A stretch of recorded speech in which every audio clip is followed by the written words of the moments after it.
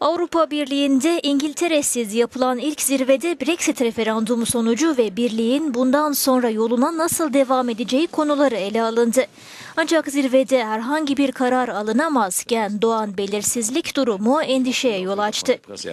Basının cesaretini kırmasına izin vermeyeceğini söyleyen Avrupa Komisyonu Başkanı Jean-Claude Juncker, basının beni ne teşvik etmesine ne de cesaretimi kırmasına izin vereceğim.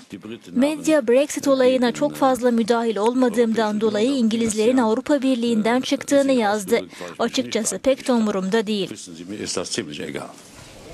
Jean-Claude Juncker Brexit referandumu öncesi Avrupa Birliği'ni yeterince savunmamakla suçlanıyordu.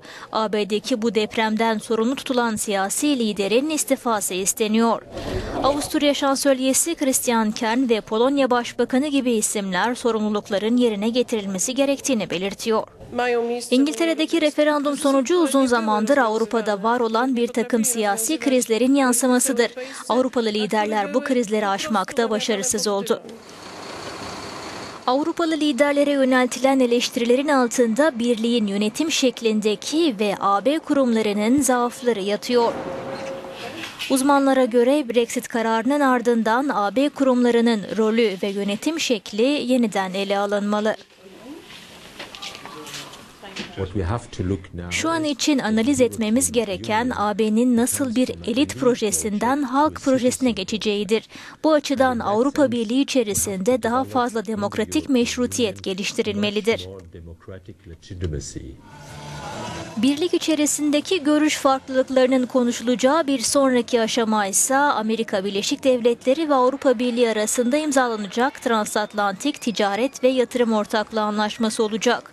Juncker şimdiye kadar bu karara ulusal parlamentoların karışmaması gerektiğini savunmuştu.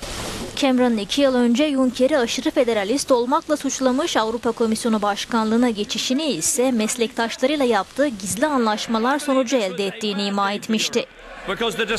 Avrupa için kötü bir gün olduğuna inanıyorum. Zira konseyin bu pozisyonu ulusal hükümetlerinin gücünü azaltarak Avrupa Birliği'ne daha fazla güç kazandıracaktır.